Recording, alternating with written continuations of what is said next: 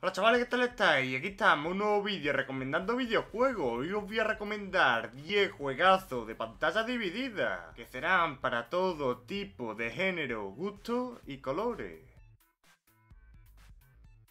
Y si queréis más vídeos donde os recomiendo videojuegos, pues por aquí arriba tienes una lista de reproducción donde os recomiendo más videojuegos. Espero que disfrutéis este vídeo y comencemos. El primer juego, la saga de videojuegos que os vengo a recomendar es una saga clásica de género beat'em y podrás jugarlo de manera cooperativa para hasta dos jugadores. Todos sus juegos son juegazos y tiene un estilo caricaturesco muy divertido. En esta saga nos enfrentaremos a oleadas de enemigos. Venceremos a jefe y tendremos secciones un poco plataformeras. Para el combate también nos permite controlar vehículos y mejorar a nuestro personaje gracias a Power Up. Una saga de videojuegos clásica, guay y más que recomendable. Aquí vamos con unos juegos muy conocidos por ser de los juguetes más populares y porque tienen juegos de todo tipo de películas, desde Harry Potter, El Señor de los Anillos y Piratas del Caribe. Los juegos de Lego se caracterizan por ser juegos de acción, aventuras y exploración, donde resolveremos puzzles y pudiendo elegir a nuestros personajes favoritos a voluntad.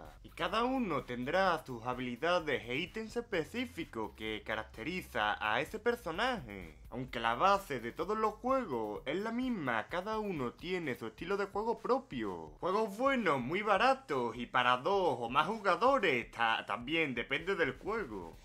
Ahora vamos a recomendar un juego que tan solo no funciona el modo pantalla dividida o modo online. La dinámica de este juego es simple, vencer a nuestro oponente utilizando todo tipo de armas, como pistolas a lanzacohetes de serpiente, armas bastante locas. Esto no es lo único con lo que se puede vencer a los enemigos, ya que los escenarios son bastante plataformeros y tienen trampas, por lo que podemos acabar con nuestros enemigos lanzándolos al vacío o también lo podemos lanzar a las trampas más peligrosas. Juego muy divertido con el que os aseguro que pasaréis un buen rato. Ahora vamos con Hot War, que es un juego tipo RPG de supervivencia con un mapa abierto y bastante grande. Lo que le suma mucho a este juego es que sea de pantalla dividida, perfecto para jugarlo con tu hermano, novia o con quien desee. En esto no te voy a obligar. Este mapa estará lleno de misiones por hacer y lugares por descubrir. El juego tiene un sistema de juego tipo Souls, pero con habilidades, lo que le suma mucho al combate de este videojuego. Con un sistema de desarrollo de personajes bastante completo y que también nos permite craftear objetos. Es un juego de larga duración, así que si tu amigo y tú sois fan del RPG, lo vais a gozar. Luego, Jao.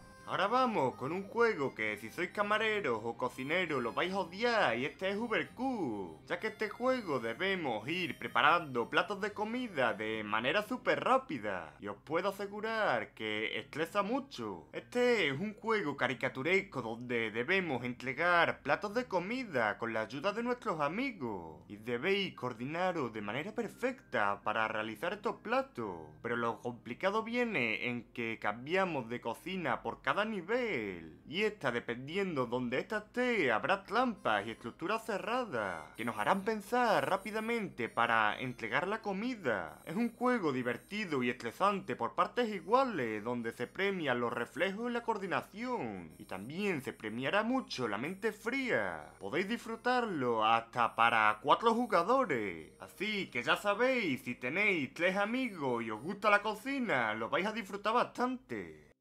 Aquí viene una saga con un estilo del humor muy divertido y de nuestros amigos mexicanos, con un humor muy rural y lleno de referencia a otras películas y videojuegos. En este juego somos un luchador que debe salvar el mundo de Calaca, un muerto malvado que quiere controlar el mundo de los vivos y los muertos. Este es un juego de plataformas en dos dimensiones con un sistema de exploración Metroidvania, donde debemos atravesar desafiantes zonas de plataforma y también nos enfrentaremos a épicos y divertidos jefes, con un sistema de combate hack and slash, dos grandes juegos que debéis jugar con hasta cuatro jugadores, además a poco más de un euro, hazte con ello. Por favor. Y como de luchadores viene la cosa, os recomiendo una saga hiper, mega, super poco reconocida de un estudio indie.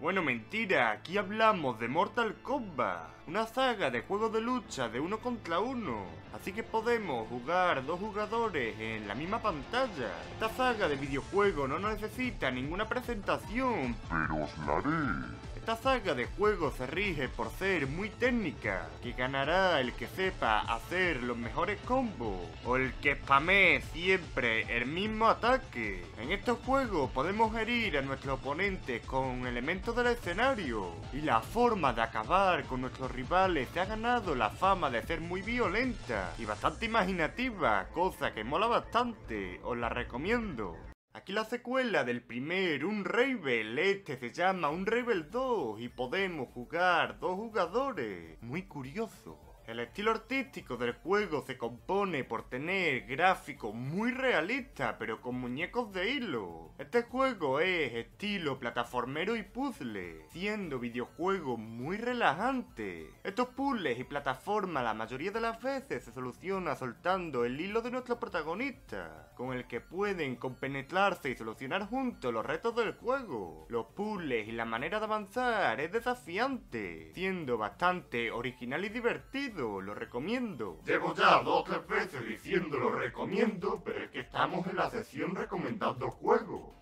Hate Takes Two. Ahora vamos con un juego de los mismos creadores de Brothers Tale of the Shoe Zone y A Way Out. Pedazo de pronunciación inglesa, necesito un máster de Harvard. Estos dos juegazos son enormes y este no se queda para nada atrás. Este juego nos pone en la piel de un matrimonio que está al borde de la quiebra. Y su hija está dispuesta a salvar su relación. Esta los convierte en muñecos de madera gracias al libro del amor y ahora están dispuestos a salvar su relación gracias a este libro. En nuestro viaje recorreremos la casa enfrentándonos a todo tipo de peligros mortales, como una aspiradora.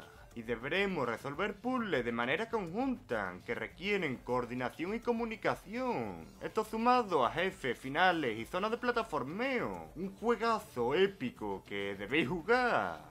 Ahora vamos con un juego de Valve bastante futurista y como costumbre en primera persona. Y en este Portal 2 debemos huir de una inteligencia artificial asesina. Esta se llama GLaDOS ese es nuestro objetivo en la aventura, sobrevivir y superar pruebas impuestas por Glado, que las resolveremos con un arma que es capaz de crear portales y con la que podremos resolver distintos puzzles usando elementos como la gravedad, las cajas, plataformas y por supuesto nuestro ingenio. Sus puzzles están hechos para obligarnos a pensar concienzudamente. La narrativa del juego será guiada no por cinemática, sino por script, con los que nos expandirán su historia es un juego con una historia con mucho sentido del humor, barato, de Valve y muy recomendable. Bueno chavales, hasta aquí el vídeo, espero que te haya gustado, si así lo fue, pues te agradecería un buen like. Te puedes suscribir a este canal para que te recomiende más videojuegos. En este canal también doy curiosidades de videojuegos y también explico historias. Así que si te gusta este tipo de contenido, te recomiendo que te suscribas. Hasta la próxima.